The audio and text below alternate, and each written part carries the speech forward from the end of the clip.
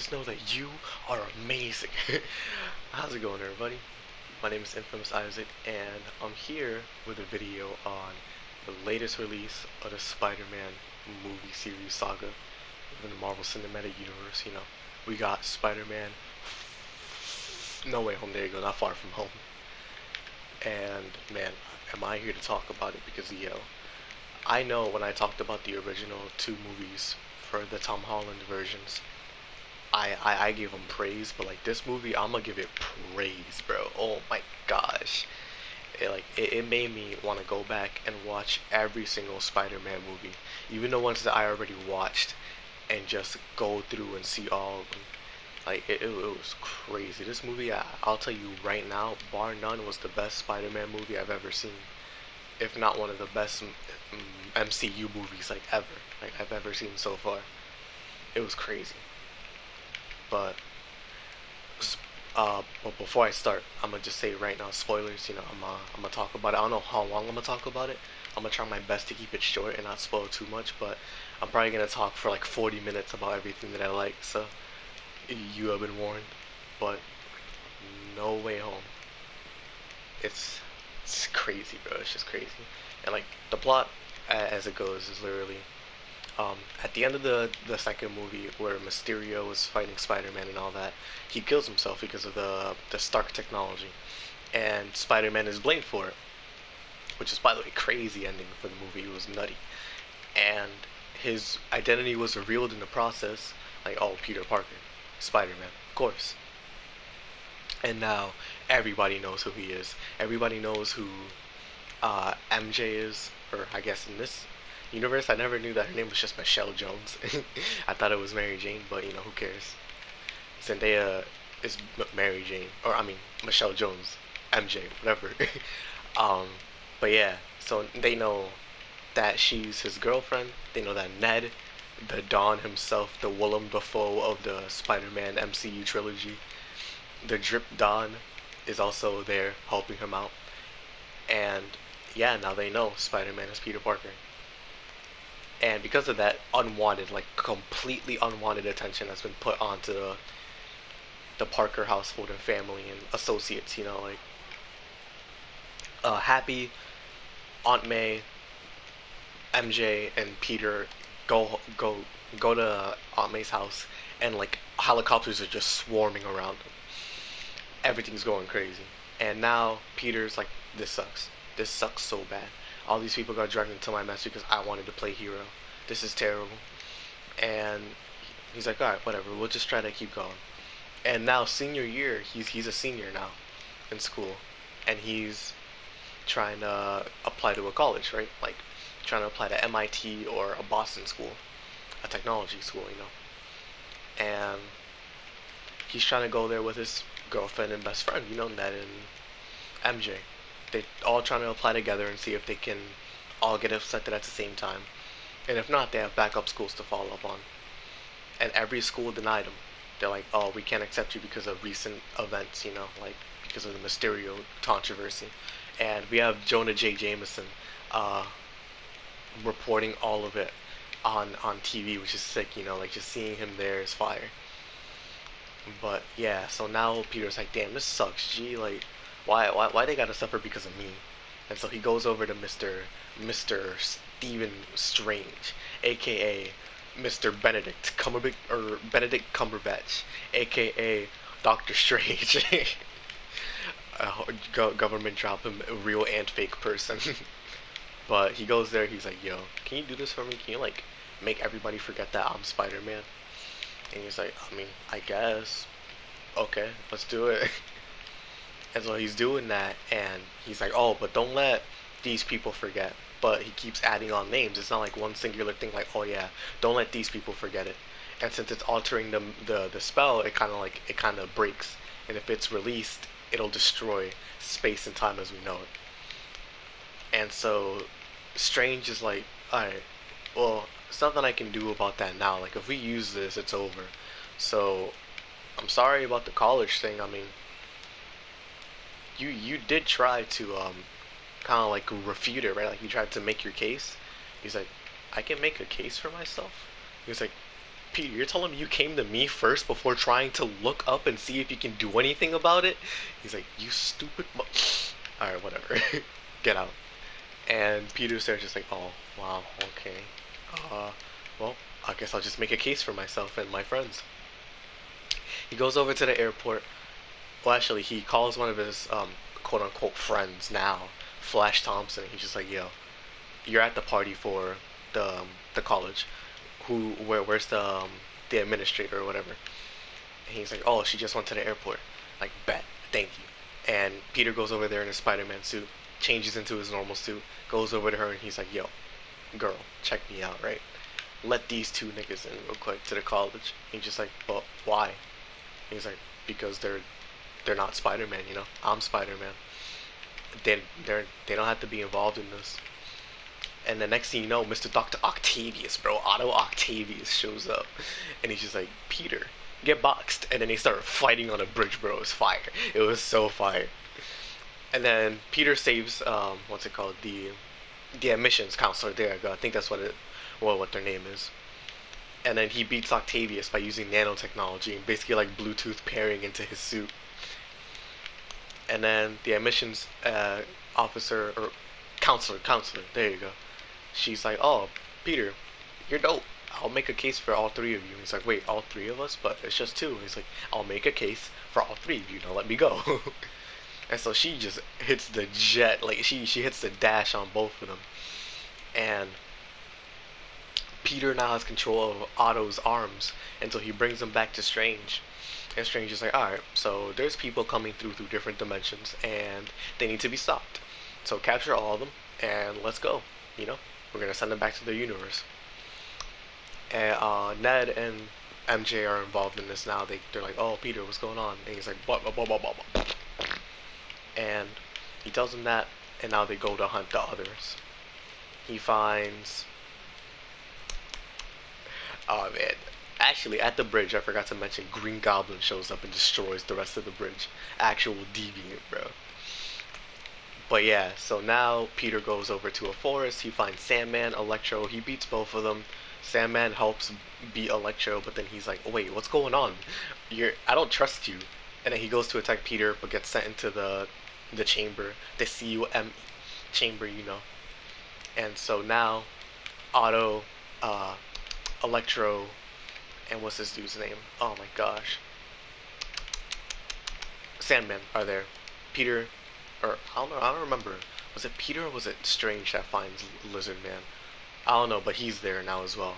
And Peter goes to Aunt May because she calls him, and he finds Mr. Willem Dafoe, aka uh, what's his name? Norman Os Norman Osborn. And he's like, Peter, please, I'm just trying to help. Like, I, I, can't let this dude take over. And he's like, all right, but I'll, uh, we'll, we'll get you some help. And Aunt May is like, Peter, at least try to help these people, you know? That's all we can do here. That's all, that's what we do at Feast. And he's like, alright, let's do it. And he goes over to Strange and he's like, I want to help these people, Strange. He's like, no, let's just send them back. It's not our problem, you know? And then they start fighting. They start boxing each other. They actually go into the mirror dimension and they start literally boxing each other. It was crazy. But Peter wins because of geometry. And so now he goes back and he tries to help everybody. So he lets everybody out and he gets all of them to help him. Uh, Lizard Man stays in the in the truck that they came in, while Willem Dafoe, Otto Octavius, Electro, and Sandman all go upstairs. Otto and well, Otto's more reluctant, while Norman Osborn is actually like, well, he's a scientist. I didn't know that, like, because I haven't watched um, the Spider-Man trilogy, the, the Sam Raimi one, in mad long. But uh, Norman Osborn is helping them, or helping Peter, and so they're they're working on some serums. They're trying to get everything good, and they they work on Otto's first to try and help him, and it works. He he helps Otto, and now Otto's back to being a good person again. The same person that Peter met or Tobey Maguire met in Spider-Man 2. And so now Otto can help everybody else, and they make a thing for Electro. He puts it on, and Electro's like, "Hey, buddy, Sandman, this doesn't feel right, does it?" He's like, if it gets me home so I can see my daughter, then it's, it's right to me. And he's like, nah, man, something just isn't right about this. And Peter, Norman, and Octavius are working together, and they go out into the um, into the, the dining room or the living room because they moved from Aunt May's house to Happy's house since like they they couldn't live there anymore. They were always being watched. And Peter senses something. So he goes out into into the the, the, the living room. And it was such a sick oh my gosh, it was such a sick like frame the the way that they were walking out the camera work was so dope because it was like it went from like the back from Peter showing like his back to the front like and the, the turn it, it, was so dope because I think it was like one frame only. It was so sick like no jump cuts or anything. It was dope. But yeah cutting away to J- Jonah J. Jameson. He uh he's outside of Peter's um or Happy's apartment because he had somebody track down Peter so he can finally expose Peter and Spider-Man for being a vigilante instead of a hero, for being a bad person, you know. And while that's going on, Lizard Man busts out of the the truck, and Peter uses his spider senses to notice something, a, a, a betrayal in the mist, or in the mist.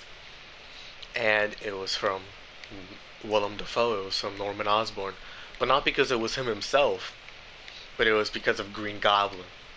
And Green Goblin comes out because it's like a split personality type thing. And he's ready to attack Peter, but Peter, what's it called, like webs him to the wall.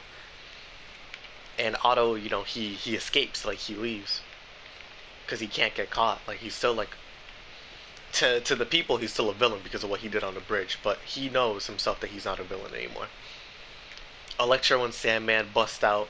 They escape and it's just speed or excuse me, not speeder, uh, Pi. Oh my goodness, Peter versus Willem Dafoe, aka Spider-Man versus Green Goblin. And so now it's crazy. Literally, this scene was awesome. The whole apartment thing was amazing, bro. It was nutty. I'm not even gonna talk about it, but just know, like, the, the Green Goblin to me was what Vulture was in the first movie, but like way better, and not even because the Vulture was bad. Just Green Goblin is just better. Like it's it's insane, bro. It's so insane. But regardless, long story short, Aunt May gets caught in the crossfire between Green Goblin and Spider-Man's fight, and she's slowly losing her life. And she's telling Peter, like, listen, Peter, even though this failed, you did the right thing. All because you got set back a little bit doesn't mean that you can't do it keep going. Because with great power comes great responsibility. And Tom Holland's will be like, and then uh, the the SWAT come in, the SWAT team come in, and they they start shooting at Peter. And Happy tries to go help Peter, but he uh, what's it called? He gets uh, detained. There you go. Peter then leaves the apartment, the, or at least the remains of it, and then this cool news report. Um, Jonah J. Jameson at the scene. He's like, people listen. Everything that Spider-Man touches is left in ruin. When will we learn that this man is not a hero but a vigilante? He only hurts. Lord save us from what can happen in his presence. Because the future is uncertain if Spider-Man's still around or something like that. And then we have uh, Ned and MJ at Ned's house and all of them, and they're just talking, corroborating, trying to figure out like should they press the button to send everybody back to their respective timelines, or should uh, or should they just wait for Peter's signal? And MJ's like, we should do it, and then Ned is like, no, let's just wait. And then one thing I neglected to mention was that Peter took um, Doctor Strange's um uh like ring thing for to open portals that he learned in uh, Doctor Strange, and he gave it to Ned to hold on to, you know. And Ned had it on, and there's a little cameo or not cameo, like foreshadowing in the beginning, like, oh hey, Doctor Strange, do you think like I can be a wizard or something? Because uh, my mom, my grandma says that we have like um powers in our family, you know, so I uh, I wanted to know. Like I get some tingling sensations sometimes, but he he does like the motion a little bit. Like he did a circle motion, like in the way that you you do to open a portal, and it opened a portal, and it brought out the one and only Andrew Garfield, aka the Amazing Spider-Man, Peter Parker. And he came out and he was like, "Oh, hey, um, why am I here?" and he comes out and everybody's like, "Yo, who are you? Are you Peter Parker?" And he's like, "Yes." He's like, "Are you are Peter Parker?" No, I don't know who you are. and they're just chilling there. They're trying to get him to prove like, "Yo, are you Spider-Man?" Because he has a suit on, but they don't know. And he climbs on the wall. He gets a cowboy off of the wall. He's like, "Oh yeah, I'm Spider-Man." And then Ned tries again to try to find Peter, since his whereabouts again are unknown. And instead of summoning, you know, Tom Holland, he summons Tobey Maguire. And now they have both the other Spider-Men in the same room. And this is what people have been talking about for months. When No Way Home was announced and they heard that it was going to be like a multiverse movie, other Spider-Man being in the movie, the uh, the live action ones, was rumored since like the day that news got announced, bro. And the fact that it's actually here, it's like honestly, it makes a grown man cry if you love Spider-Man. It's so fire. But now they're like, all right, well, can you help us find Peter? And he's like, where do you where do you think he would go then? Or Andrew's like, where do you think he would go when he's stressed or trying to unwind? And Tobey Maguire was like, I, I went to the Chrysler Building while Andrew Garfield was like, I went to the Empire State. It has a better view. He's like, hey, that's true, you know? And so they go to wherever he is. I don't know. I think it's like at the top of Feast or something. I have no idea. but he's there and he's crying. Uh, MJ and Ned go to hug him. And then he sees both other Spider-Men and he connects the pieces quickly. And he's like, bro, I think it's time for you guys, everybody, to go back. This is not my problem anymore. These people have hurt me beyond immeasurable belief. Or immeasurable belief, excuse me. So, I'm done. Like, I'm done. I'm not doing this anymore. Ah, man, unfortunate. I wonder if that's gonna. What's it called? Hopefully that doesn't. But regardless, yeah. And uh, Peter.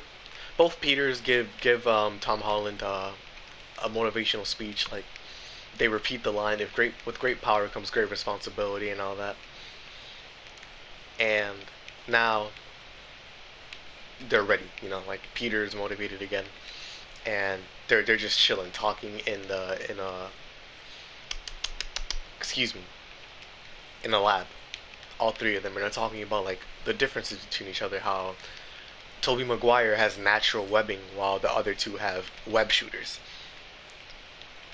and they're making the the serums and antidotes and solutions for each of or everybody who's afflicted. So Electro, Sandman, uh, Green Goblin, and Lizard Man. I have no idea what his name is, but like just I man, I, I my goodness. But yeah, now they have all the serums ready and they're getting ready to fight. And Peter issues a, a call to arms, or not a call to arms, a challenge, basically. Like, listen, I tried to help you all. Like, he calls Jonah J. Jameson, and he's like, yo, listen, I have something to say. He's like, are you gonna finally admit to your crime, Spider Man? No, I'm gonna say something for the people to see. To the people out there who've caused harm, I've tried to help you, I still will try to help you. If you want to find me, come to the Statue of Liberty and then you just see all three Spider-Men chilling at the top of the Statue of Liberty, bro. And the conversation that they have here is hilarious. Oh my gosh, they're talking about all the villains that they fought, how Peter thought, or uh, excuse me, Tom Holland fought Thanos in space, while Maguire fought um, Venom, and what's his dude's name? Oh my gosh, um, oh my gosh, I can't remember. Uh, Andrew Garfield fought a, a rhino. There you go. Like, yeah. So they're talking about the villains. They're also talking about the web shooting and all that. They're also talking about like, man, you guys are all awesome. And Andrew Garfield's like, man, you guys sound so sick. I don't feel like I'm anything in comparison. And then Tobey Maguire's like, listen, man, re- rewind it back to the fact that you think you're not awesome. You are amazing. You are literally amazing. You're Spider Man, you know? And he's like, Oh, yeah. Yeah, you're right. And he's like, Nah, man. You're amazing. Are you gonna say it back? And he's like, Oh no, thanks, man. I I I really needed that, honestly. I really needed that. And then it was just so awesome. It was so cute. But yeah, now all the villains show up. Green Goblin, Lizard Man, Electro, Sandman, they're all there and they're ready to box, bro. He's like, or Electro is like, hand it over, Peter, hand over the the thing. I'm gonna destroy it. Don't make me a killer, or don't make me a murderer.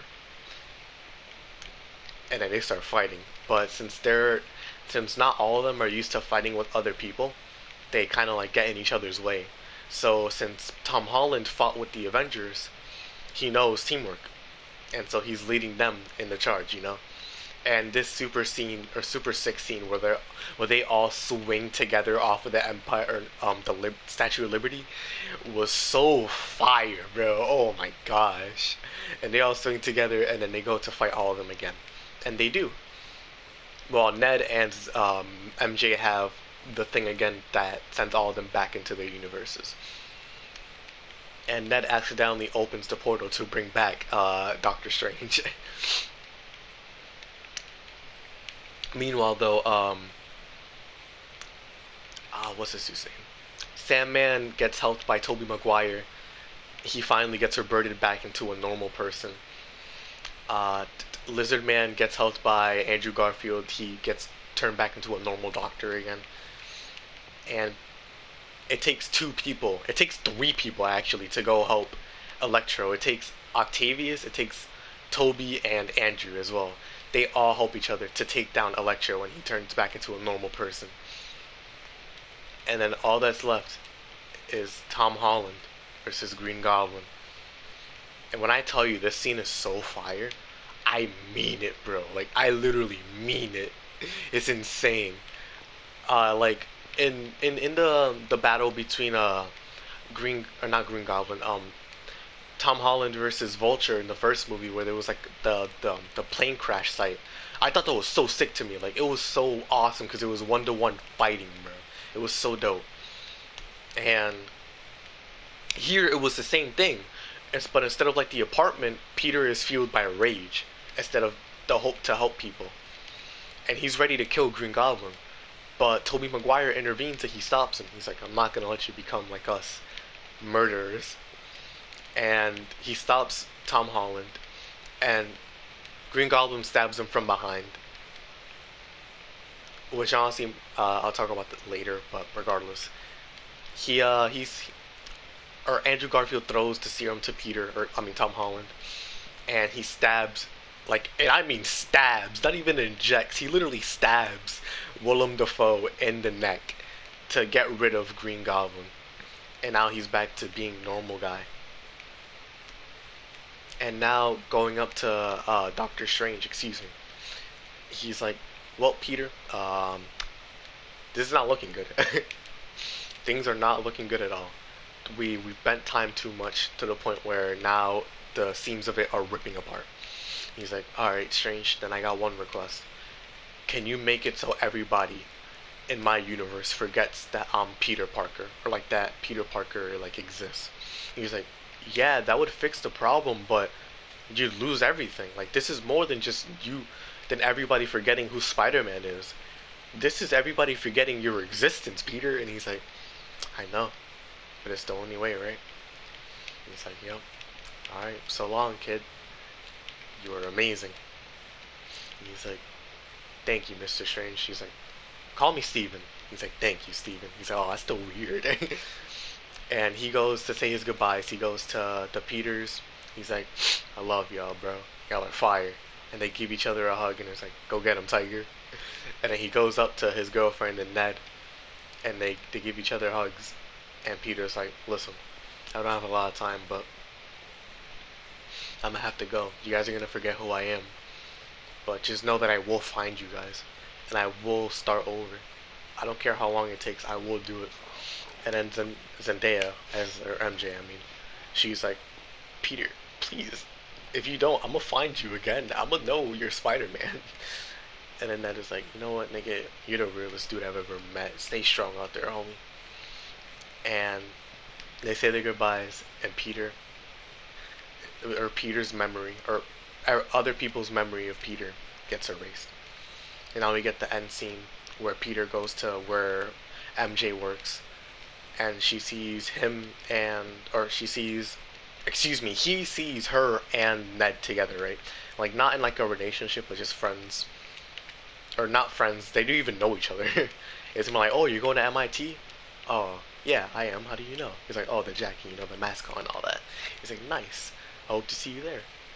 He's like, yeah, look. And Peter's like, uh, hey, um, my name is Peter Parker, and, um, I, uh, I would like a normal coffee, please. And he, he backs out last second because he realizes, like, the lives that they're living now are better without him. And that it's better to just start from zero and move on. And so he gets the coffee and he stares at MJ because, you know, this might be one of the last times he ever sees her. And he leaves. And she gets the impression like, huh, Will's good with him. But he goes back to the apartment, Aunt May's apartment, and he rents it out. And he starts living there now. Because now he has to get his GED because, like, he's not in school anymore. Which you know it's a it's a subtle thing because you notice it in like the the pile of um not luggage more like moving equipment that he has. You notice like the GED study guide which is you know sick to me honestly. It's dope. Like it shows real world consequence. But um yeah so Peter moves into the apartment Aunt May is still dead God rest her soul and he goes to her grave and Happy's there and he's like how'd you know her and he's like an acquaintance. She was an acquaintance of Spider-Man, and I met her through Spider-Man. He's like, yeah, he's really a good person, you know. I uh, stay strong, man. Stay safe. It's like you too, man. And again, he goes back to his apartment, and he pulls up his phone, and he has the police like um, radio station and all that. And he puts on his Spider-Man suit that he sewed or sewn himself and he goes out through the window as a friendly neighborhood Spider-Man. And man, let me tell you, the ending for that movie was insane, dog. This movie was one of the best movies I've ever seen, like Marvel Cinematic Universe wise, and honestly, like just movies in general. This movie was so awesome. Like, I I thought that like by the end of the year, like I thought Dune was still gonna be my favorite movie of the year, but nah, this movie is in it. It's it's hilarious, honestly. But Spider-Man No Way Home, I'm giving it a nine, bro. I'm giving it a nine, and that at its best, like the apartment scene and the Statue of Liberty stuff, it was a ten. It was wholeheartedly a ten. This movie was amazing, bro.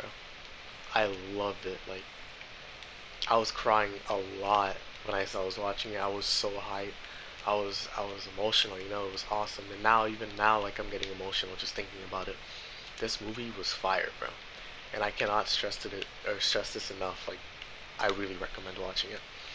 Or like at the very least, like watching the first Spider-Man, like like Homecoming, or watching Far From Home, or watching this one, like in no particular order, just watching like one of them at the least. Because bro, these movies are so dope. They're so so dope. I can't stress that enough. Like my favorite parts are definitely like the Spider-Man, the three Spider-Men interacting together, Willem Dafoe being on screen, Otto Octavius being on screen, um, just Peter and Doctor Strange interacting together, the consequences of um, Peter's wish, the end scene, uh, the bridge scene with with Octavius, again the apartment scene, the Statue of Liberty scene. I cannot stress that enough, bro. This action in the movie was so awesome. The 1v1s, like Peter versus Green Goblin twice, was so amazing. I cannot stress how much I love those two scenes. They were amazing. you are amazing.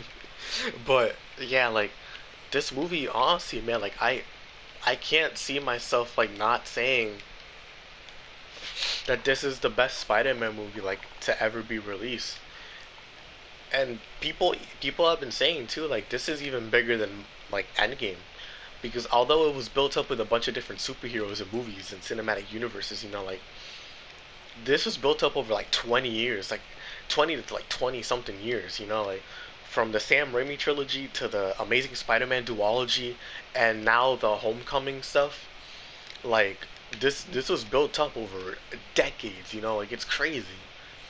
So this this is big, you know, like especially with how big Spider-Man is as a superhero. Like Spider-Man is important and he and he's impactful. So this like I if you say like this is bigger than Endgame, I can understand why you would. For me, it's gonna take a little bit more time to like come to a conclusion on whether I think it is or not. But like right now, I can say it's on par with Endgame, if not like, well, yeah, like equal. Like this is big, you know. Like people were hyped when Endgame was coming out. People were also hyped when this movie was coming out, so it makes sense, you know. But like, I'm I'm trying not to get emotional because like yesterday I was getting emotional talking about it, but Spider-Man really is like an icon, you know. He he impacts so many people as a superhero and as a person, like Peter Parker just himself. And it's it's just awesome seeing how like on the big screen he can affect so many people. Whether it's Tobey Maguire, Andrew Garfield, or Tom Holland, like Spider-Man as an icon, like or as a, a person and hero is impactful, you know, because he's just a normal average guy.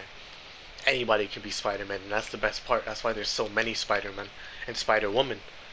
Anybody can be him. It's just whether you choose to or not, you know, like so just seeing like how this trilogy concluded and the fact that I got to see like the first two catch up and then see the final one, or at least for like this trilogy, it really it really made my day honestly, and I just can't like I can't be thankful enough to be able to do that, you know. So at the end of the day, Tony Stark is like just barely number one for my number one superhero like ever. Spider-Man for sure though will never be or will never not be in top three. Like Spider-Man is uh, he's amazing, you know. Like uh, as corny as it sounds, he's amazing. And to me, he means a lot, you know. I literally have a Spider-Man pillowcase, but like he's he's dope. He's so fire.